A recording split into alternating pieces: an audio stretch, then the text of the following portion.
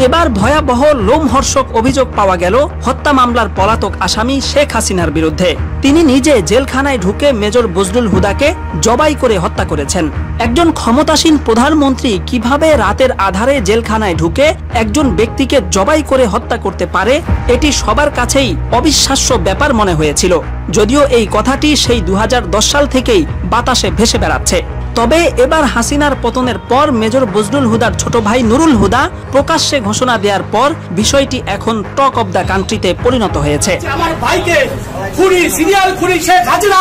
জেলখানায় ঢুকে নিজ হাতে জবাই করে হত্যা করেছিল।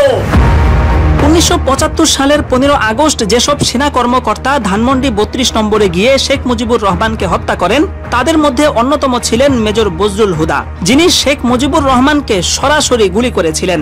এই অপরাধে দু হাজার দশ সালের আঠাশ জানুয়ারি মেজর বজরুল হুদা সহ কারাগারে থাকা পাঁচজন ব্যক্তির ফাঁসি কার্যকরের সিদ্ধান্ত নেওয়া হয়। অনলাইনে ছড়িয়ে পড়া ঘটনার একটি ধারা বর্ণনা থেকে জানা যায়, সেই রাতে ফাঁসি কার্যকরের কিছুক্ষণ আগে ঢাকা কেন্দ্রীয় কারাগার এবং আশপাশের এলাকায় বিদ্যুৎ চলে যায়। সে সময় দুটো কালো পাজেরো গাড়ি কারাগারে প্রবেশ করে, যার একটিতে ছিলেন স্বয়ং প্রধানমন্ত্রী শেখ হাসিনা। পাঁচজনের মধ্যে চারজনকে মঞ্চে নিয়ে ফাঁসিতে ঝুলানো হলেও মেজর বজরুল হুদাকে সেখানে আনাই হয়নি। তাকে ভিন্ন একটি কক্ষে আটকে রাখা হয়।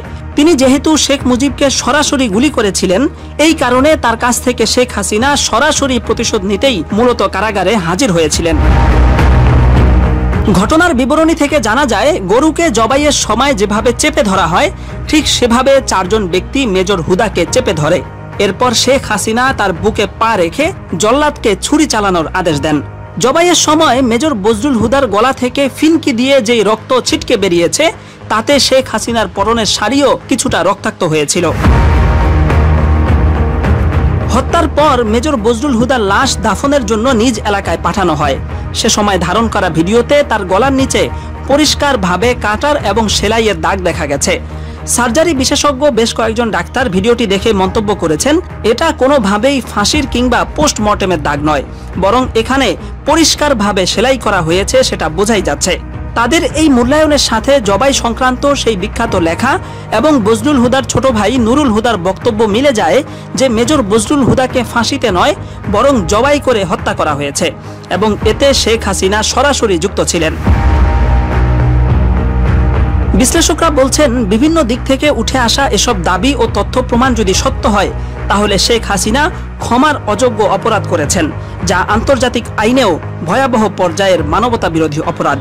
এমত অবস্থায় বিভিন্ন মহল থেকে মেজর বজরুল হুদার মৃত্যুর বিষয়ে বিচার বিভাগীয় তদন্ত দাবি করা হচ্ছে এবং তদন্তে সেই ঘটনা সত্য প্রমাণিত হলে শেখ হাসিনাকে দেশে ফিরিয়ে সর্বোচ্চ শাস্তির মুখোমুখি করারও দাবি জানিয়েছেন সামাজিক মাধ্যমের অজস্র মানুষ।